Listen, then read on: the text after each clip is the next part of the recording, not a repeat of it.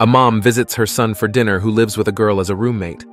During his meal, his mother couldn't help but notice how pretty his roommate was. Reading his mom's thoughts, his son volunteered, I know what you must be thinking, but I assure you, we are just roommates. About a week later, his roommate came to him saying, Ever since your mother came to dinner, I've been unable to find the silver plate.